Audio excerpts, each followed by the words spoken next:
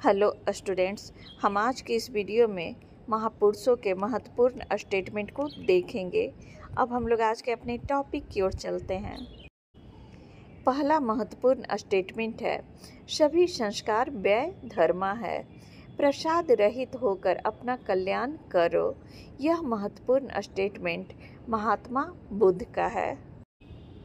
Next है, यदि शरीर का कोई अंग खराब हो जाए तो उसे काट कर फेंक देना ही ठीक है, ताकि शरीर के अन्य भागों में जहर न फैले।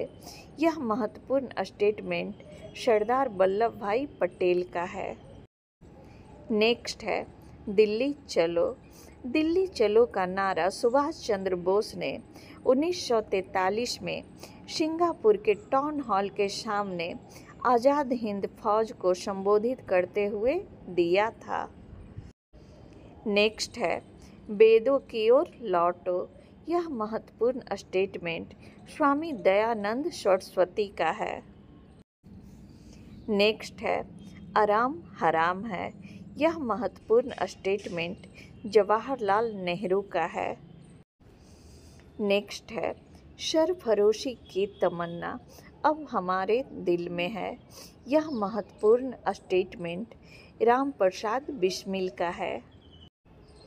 नेक्स्ट है, इनकलाब जिंदाबाद, यह नारा भगत सिंह ने दिया था।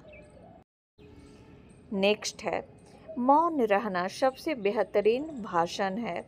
धीरे धीरे दुनिया आपको सुनेगी, यह महत्वपूर्ण स्टेटमेंट महात्मा गांधी का है। नेक्स्ट है, पहले स्वयं में वह बदलाव लाएँ जो आप दूसरों में देखना चाहते हैं। यह महत्वपूर्ण स्टेटमेंट महात्मा गांधी का है। नेक्स्ट है, मैंने मुट्ठी भर बाजरे के लिए दिल्ली साम्राज्य को ही खो दिया। यह महत्वपूर्ण स्टेटमेंट शेर शाह सूरी का है। नेक्स्ट है, कांग्रेस धीरे धीरे लड़खड़ाकर गिर रही है और भारत में रहते हुए मेरी यह इच्छा है कि मैं इसकी शांतिपूर्ण मृत्यु में सहायक बनूं।